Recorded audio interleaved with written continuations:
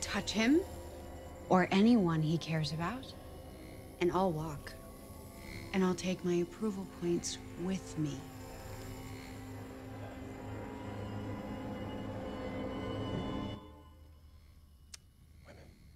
I'm kidding. You really need to lighten up, guys.